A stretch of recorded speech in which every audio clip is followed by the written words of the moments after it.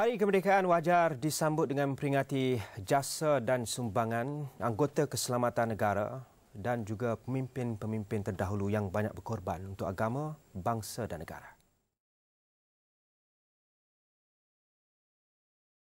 Setelah sekian lama, masyarakat di Tanah Melayu ditindas oleh pihak kolonial British, muncul gerakan nasionalisme yang telah dicetuskan oleh golongan elit Melayu. Dato' On Jaafar merupakan salah seorang daripada golongan elit yang telah muncul sebagai tokoh pengasas nasionalisme di Tanah Melayu. Berkat jasa beliau, orang Melayu telah memiliki kesedaran nasionalisme sehingga tertubuhnya sebuah parti politik yang dikenali sebagai United Malays National Organisation atau dikenali sebagai UMNO. Tuan-tuan, kini dengan tertubuhnya PFJ bererti Orang Melayu bukan orang Johor saja. Malah setiap orang yang berbahasa dan berketurunan Melayu adalah Melayu. Dan dengan kesatuan ini, kita semua akan bertambah kukuh.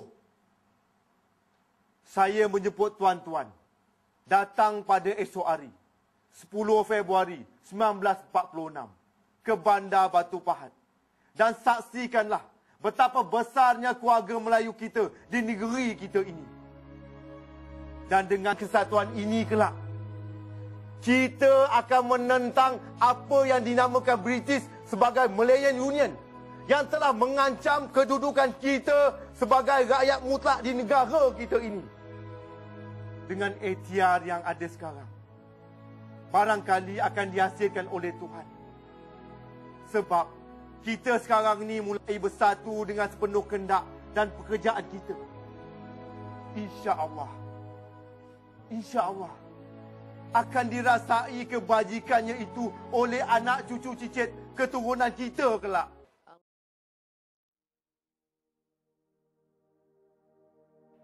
Dato' On Jaafar merupakan seorang tokoh nasionalisme Melayu yang telah menggerakkan orang Melayu dalam melakukan penentangan terhadap British menerusi penubuhan Parti Melayu iaitu UMNO Beliau telah dilahirkan pada 3 Februari 1895 di Bukit Gambir, Johor.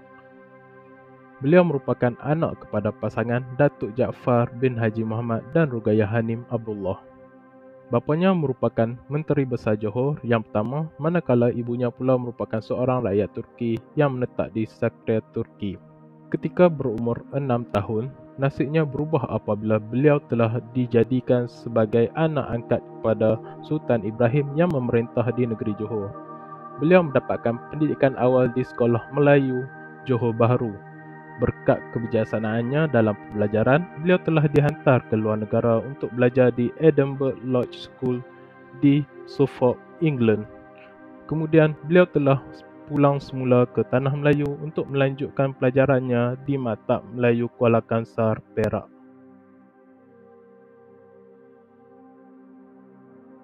Pada tahun 1934, Datuk On Jaafar telah melibatkan diri dalam dunia politik menerusi kejayaannya sebagai seorang wartawan beliau telah dilantik oleh Said Ali Abbas Al-Atas untuk menjadi pengarang bagi sebuah akhbar Melayu yang dikenali sebagai Lembaga Melayu.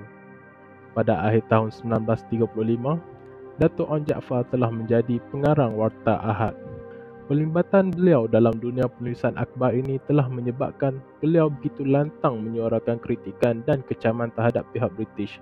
Sebagai contohnya, Datuk On Jaafar telah membidas semua dasar-dasar yang dilaksanakan oleh British yang memberikan kesan buruk terhadap Raja-Raja Melayu, negeri-negeri Melayu dan orang Melayu menerusi penulisannya.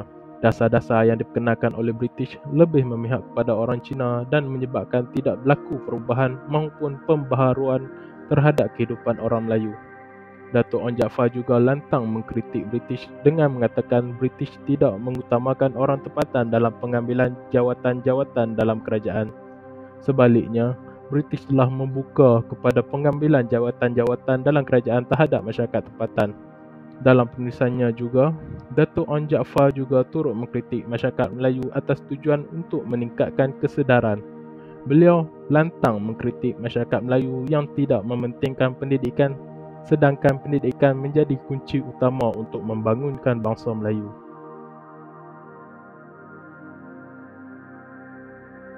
Pada 1 April 1946 di King House, Kuala Lumpur, British telah mengisytiharkan pelaksanaan sebuah dasar baru yang dikenali sebagai Malaya Union.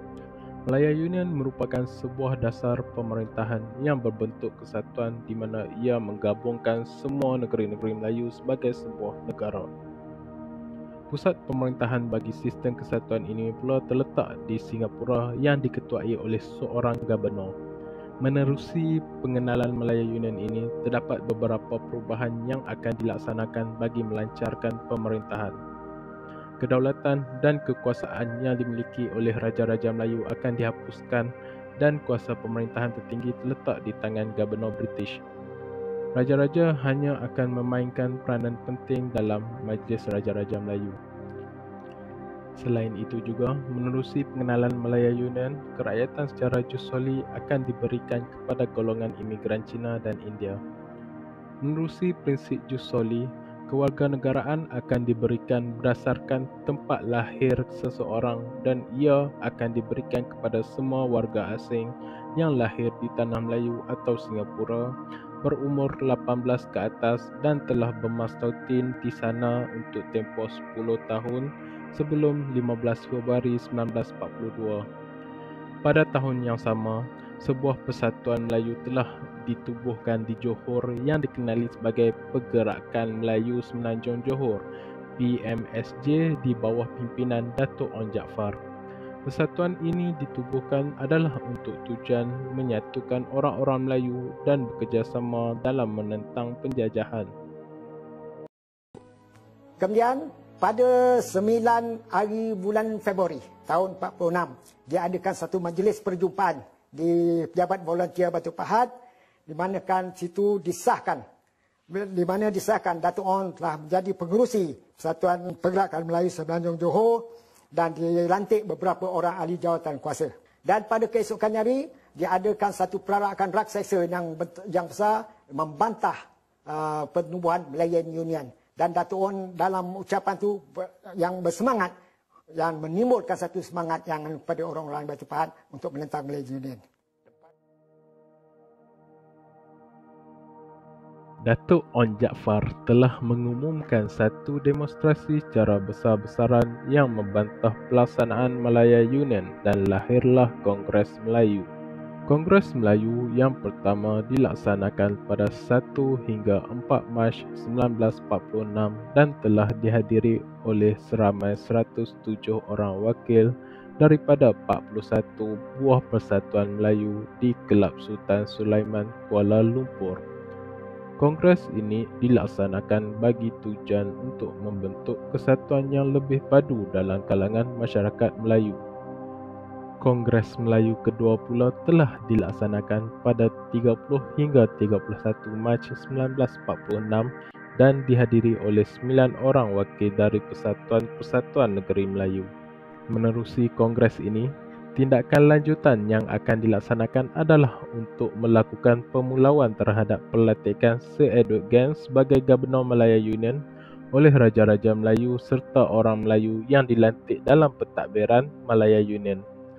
Hasilnya, Raja-Raja Melayu tidak menghadirkan diri dalam majlis pelantikan tersebut dan orang Melayu yang diberikan tawaran dalam pentadbiran Malaya Union juga telah menolak tawaran tersebut. Kongres Melayu ketiga pula dilaksanakan di Istana Besar Johor Bahru pada 1 Mei 1946. Menerusi kongres ini, maka lahirnya sebuah pertubuhan politik Melayu yang menyatu padukan seluruh masyarakat Melayu yang dikenali sebagai AMNO pada 11 Mei 1946. Datuk On Jaafar kemudiannya dilantik sebagai Yang di-Pertua AMNO yang pertama. Pegawai-pegawai British telah melaporkan kepada kerajaan British di London bahawa keadaan politik di Tanah Melayu tidak terkawal akibat tindakan orang-orang Melayu yang bersungguh-sungguh menentang pelaksanaan Malaya Union.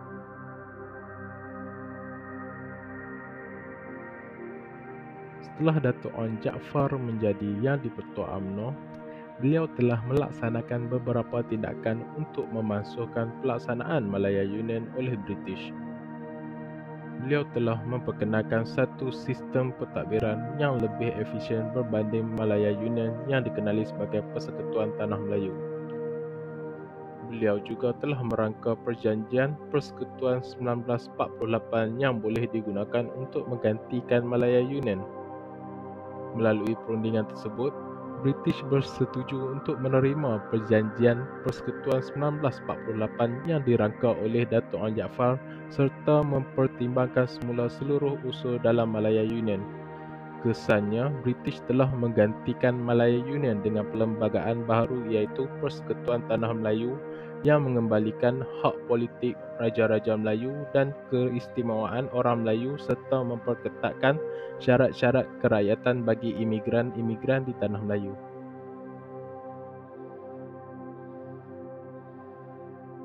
Pada tahun 1951, Datuk An Jaafar ingin mewujudkan sebuah penyatuan dalam kalangan orang Melayu serta orang bukan Melayu menerusi cadangan untuk membuka keahlian UMNO kepada bukan Melayu.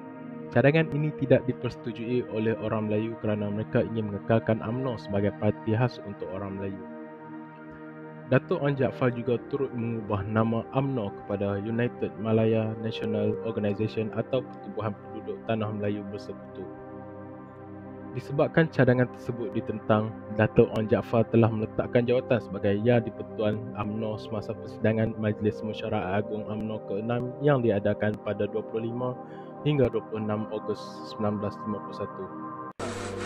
Pada tahun 1951, bila Datuk On uh, menerangkan uh, kehendaknya uh, berhenti daripada menjadi yang ketua UMNO, uh, ketua-ketua UMNO pada masa itu, termasuk saya sendiri, berasalah hampa kerana Datuk On lah penganjur Melayu yang ulung sebesar selepas Perang Dunia yang kedua dan Datuk On lah telah yang telah uh, berjaya uh, menyatukan umat Melayu pada masa itu dan membangkitkan semangat uh, kebangsaan di kalangan umat Melayu di semenanjung tanah Melayu.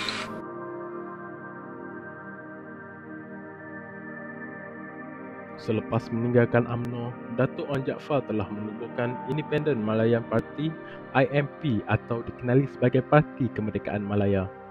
Namun begitu, parti ini tidak mendapat sokongan daripada orang Melayu. Parti ini juga tidak mendapat sokongan maupun sebarang kursi dalam pilihan raya. Walaupun begitu, Datuk Wan Jaafar tidak berputus asa dan cuba untuk mendapatkan tempat dalam dunia politik. Akhirnya, pada tahun 1959, beliau telah berjaya mendapatkan sebuah kerusi di kawasan Parlimen Kuala Terengganu Selatan dengan bantuan PAS.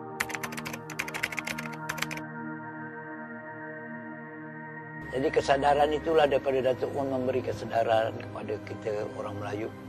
Saya bersyukur betul. Nikmatnya itu saya pada hari dapat merasai. Kalau tidak orang Melayu kita tak tahu ke mana. Jadi kita haraplah pemuda-pemuda zaman sekarang ni, generasi muda ni, pandanglah sejarah.